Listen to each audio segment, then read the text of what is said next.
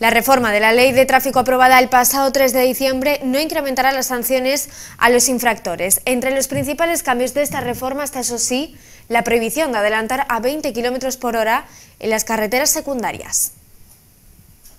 El director general de tráfico, Pere Navarro, ha recalcado este miércoles que la reforma de la ley de tráfico, aprobada el pasado 3 de diciembre, no incrementa las sanciones a los infractores. Atención, no se ha aumentado las cuantías económicas de las sanciones de tráfico. ¿eh?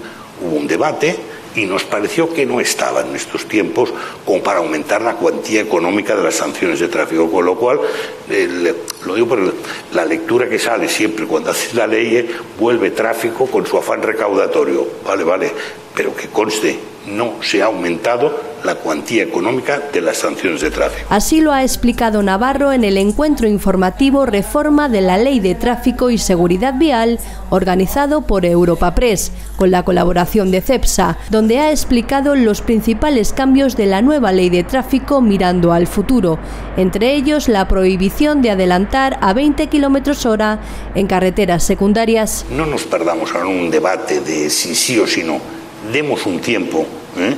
Y los datos nos permitirán una cierta aproximación a qué es, cuál ha sido el efecto de esta medida.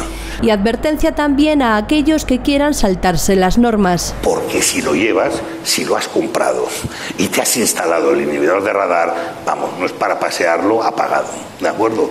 Con lo cual era una pequeña corrección técnica ¿eh? que permite dar como mayor apoyo a la policía de tráfico cuando sanciona por este Son inhibidores, ¿eh?